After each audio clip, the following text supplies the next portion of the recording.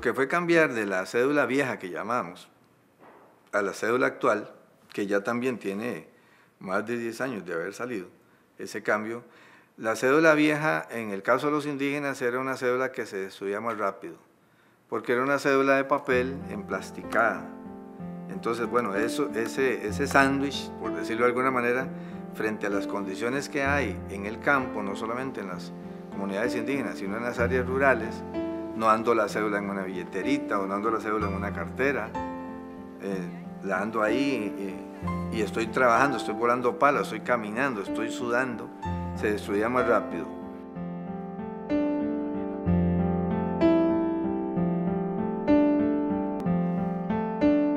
Los programas de cedulación permiten que la lista de electores sea fiel a la realidad, lo que contribuye a minimizar los fraudes electorales. Es por esto que el registro civil tiene presencia en gran parte del país, sea a través de sus sedes regionales o por medio de las giras de cedulación ambulante.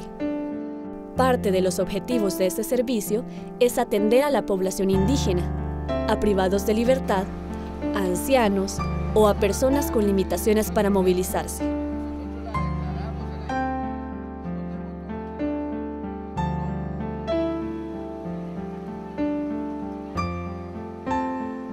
En junio del 2002 eh, ya se implementó en Costa Rica la tarjeta de identidad de persona menor de edad, que va de los 12 años hasta cumplir los 18 años cuando ya va a adquirir la cédula de identidad.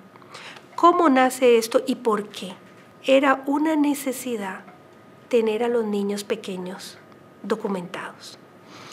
Este, hicimos pruebas con la colaboración de los médicos en los centros hospitalarios, porque el objetivo primordial era, como hay en otros países como en Suiza, que nace el niño y al niño se le da su documento de identidad, con su carita de bebé y todo. Pero cuando fuimos a hacer las pruebas aquí, nos dimos cuenta que, por ejemplo, un bebé no abre la manita y con una cuestión refleja, abre la manita pero la vuelve a cerrar. Y los neonatólogos nos hicieron ver que no se puede forzar a un bebé porque sus huesitos son tan que, que forzando para tomarle una huellita o algo, le podemos quebrar. Entonces, por eso viene también la tarjeta de identificación de menores. Ya queremos que desde los 12 años usted sepamos el dueño de, estas, de esta declaración que hicieron hace 12 años, sepamos entonces físicamente quién es.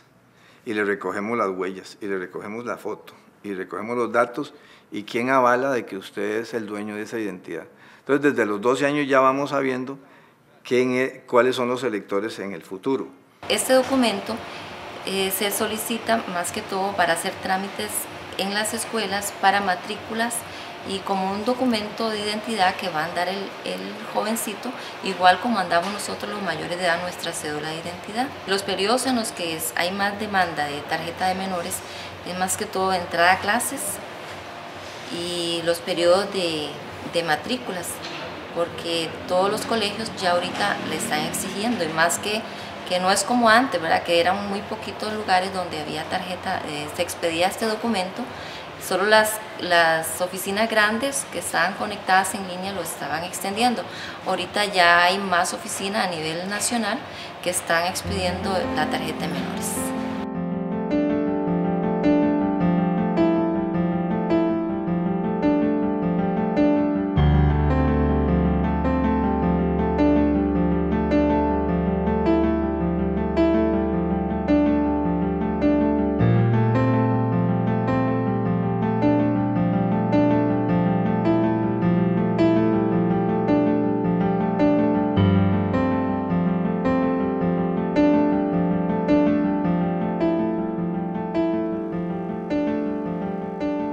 De cedulación este, a las comunidades eh, los hacemos en razón de, la cantidad de, habitantes, de la distancia a la oficina regional más cercana, de los servicios de buses que tengan, si es muy regular, si es muy regular, o sea, todo, hay, hay varios factores.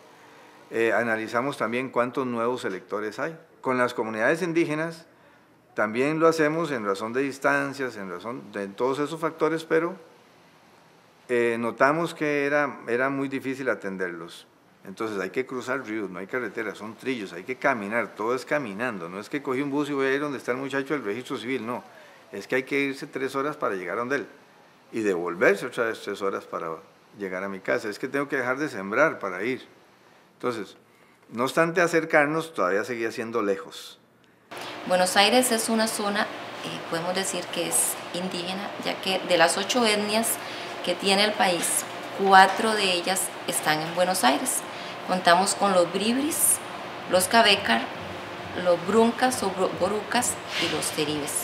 Entonces, estas personas, al igual que el resto de la población, requieren de los mismos servicios, cédulas, tarjeta de menores, em, quizás eh, los indígenas en mayor grado que los, que los blancos requieren inscripción de niños nacidos en el hogar, porque por lo general viven en zonas muy retiradas que no les da tiempo a salir, de salir a los hospitales. Eso hace que busquemos medios donde las personas les sea más interesante hacer esa caminata. No solamente voy a ir por el registro civil, es que está el Ministerio de Salud también. Entonces, si están los doctores, si está el registro, ah, bueno, ya, ya salgo. Qué importante para el indígena salir a eso y qué importante que el tribunal entonces esté ahí y compartir gastos entre instituciones para llegar con un servicio más integral a esa comunidad. Entonces, de esa manera es que nosotros hemos ido acercándonos y, aprovechando más cada salida que tiene el indígena hacia, ciertos, hacia ciertas poblaciones para atenderlo integralmente y aprovecharnos de eso.